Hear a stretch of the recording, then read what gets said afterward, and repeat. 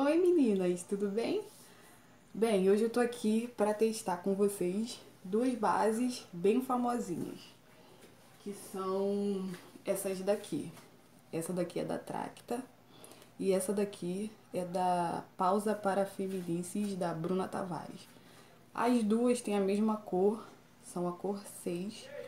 As duas elas são bem parecidas, tem a textura bem cremosa é, eu achei também que as duas têm, são bases de alta cobertura. Aí aqui tá falando que elas possuem vitamina E, toque seco, são é, base mate livre de óleo.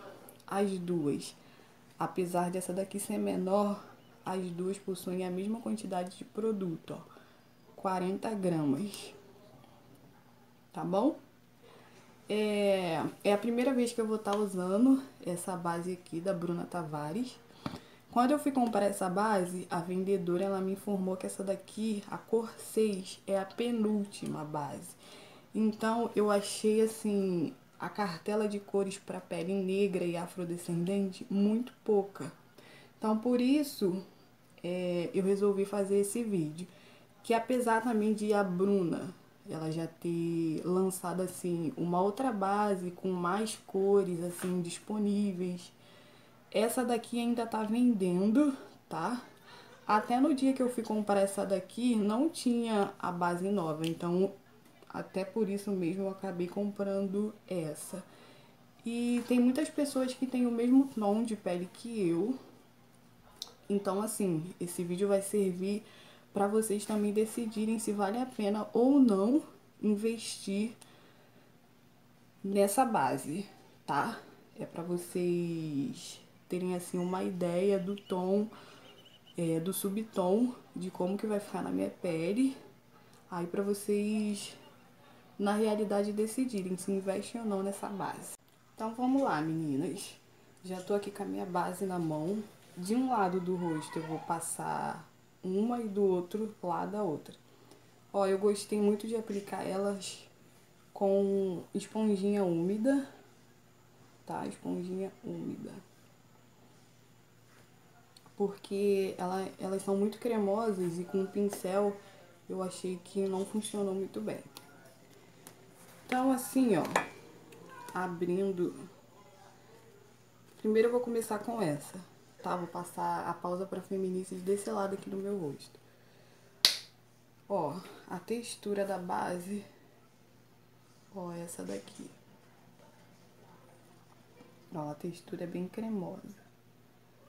De cara aqui, eu já, eu já vejo que o subtom aqui dessa cor é rosado. De cara eu já consigo ver. Já olhando assim pro produto eu já vejo que o subtom pro meu para minha pele tá errado, que esse subtom aqui é um é mais para para rosa, tá?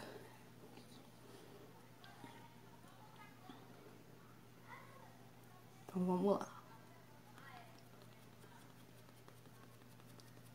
Ó. Ah, e só pra lembrar também, eu não passei, a minha pele não tá com nada.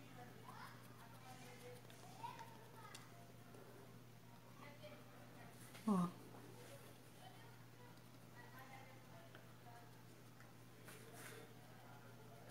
Eu não costumo, eu não costumo passar base aqui na olheira. Na olheira eu costumo passar corretivo, mas dessa vez eu vou passar. Até pra gente ver se cobre a olheira.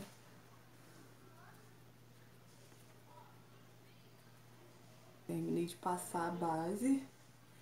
Ó. Realmente é uma base de alta cobertura. Eu vejo que aqui cobriu bem a minha olheira em comparação com aqui. Com esse lado, ó.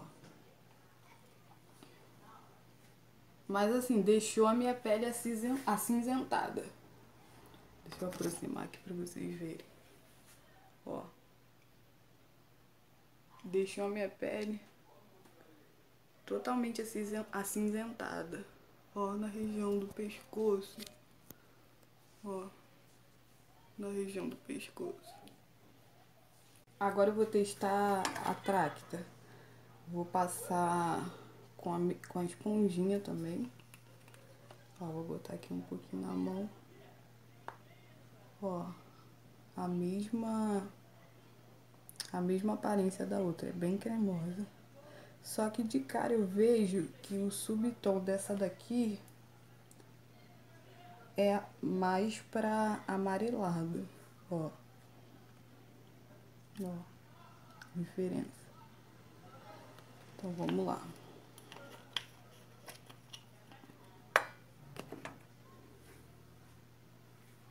Passar com o outro lado da esponjinha.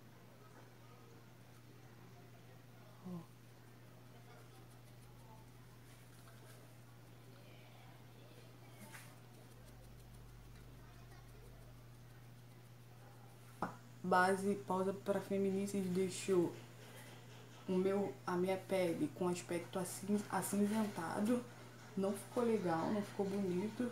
E já a base da Tracta com o subtom amarelo funcionou melhor pro meu tom de pele. Bem, meninas, fiz uma maquiagem aqui bem rapidinha, bem completa, para vocês terem uma noção de como que essa base vai ficar com a maquiagem.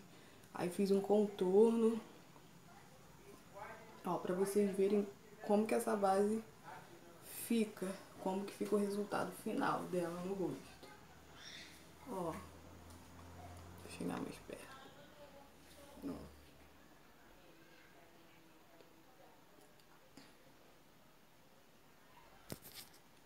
Aqui eu ainda consigo ver a diferença da pausa para feminices no pescoço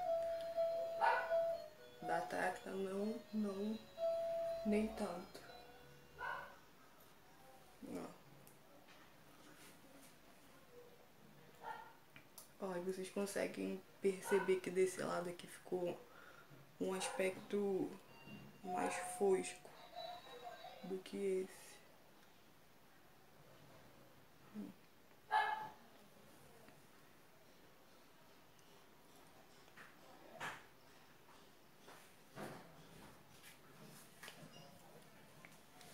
Aí, o que, que eu quero falar pra vocês? Que em relação a essas duas bases, que assim, apesar de, de no início elas terem ficado é, bem diferentes uma das outras, quando eu fiz a maquiagem completa, eu consegui é, contornar um pouco dessa base aqui com o contorno, com o contorno mais, mais escuro. Que foi até, eu fiz o contorno até cremoso com essa base aqui da Mari Maria, na cor bege escuro. Aí eu consegui igualar mais, deixar assim mais parecido com o com meu tom de pele. Mas ainda assim, eu consigo assim perceber que que esse lado aqui ficou um pouco diferente desse, que esse daqui ficou mais fosco, mais, mais assim, mais apagado do que, do que desse lado. E na foto também eu consegui ver muita diferença. Ficou o meu rosto mais, mais esbranquiçado desse lado do que desse. Então é isso, meninas. Esse foi o resultado final da maquiagem. Espero muito é, ter ajudado vocês. Espero muito que vocês tenham gostado desse vídeo. Se vocês gostaram, não esqueçam de comentar aqui embaixo, de curtir o canal, de ativar o sininho para receber é, os próximos vídeos que eu vou estar tá divulgando aqui para vocês. Tá? Um grande beijo e até o próximo vídeo.